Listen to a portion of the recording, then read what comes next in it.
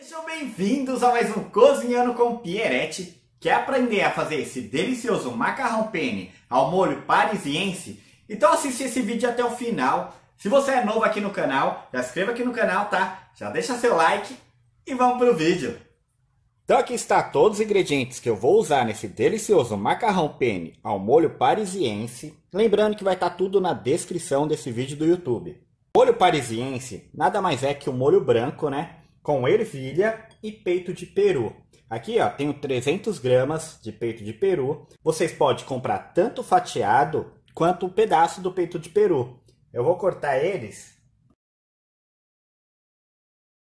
Na panela, vocês vão colocar água, adicionar um pouco de óleo ou azeite, meia colher de sopa de sal, cozinhar 300 gramas de macarrão penne. Enquanto está cozinhando aqui o macarrão penne, vou preparar aqui um delicioso molho branco, uma colher de sopa bem cheia de manteiga ou margarina, adicionar uma cebola grande picadinha, um pouco de sal. Agora vou esperar aqui a cebola murchar e já vou adicionar o leite.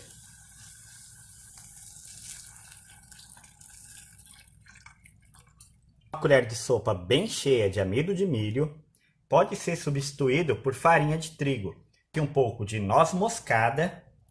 Combina, pessoal, fica muito bom molho branco com noz moscada.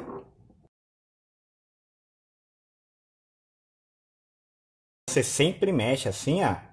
Tá vendo? Ele já vai pegando uma consistência. A receita é muito simples e rápido de fazer. Ó, já tá pegando a consistência aqui, ó. Meu molho branco. Ó, já está pronto aqui, ó. Já vou desligar aqui ó, o macarrão. Já cozinhou. Agora o molho branco. Esse aqui é o ponto que deixa o molho bem mais leve, tá vendo? Ó?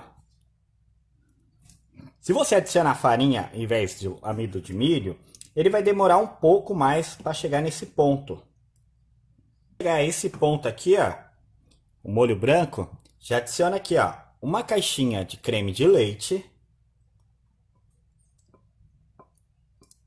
Com fogo médio, vocês ajustam o sal. Está muito bom aqui, ó, já acertei o sal. Pode desligar o fogo. Adicionar uma lata de ervilha.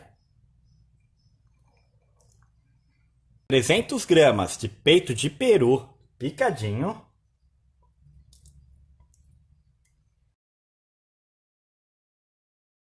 Já está pronto o meu delicioso molho parisiense. Vou escorrer o macarrão e vamos ver no detalhe como que ficou.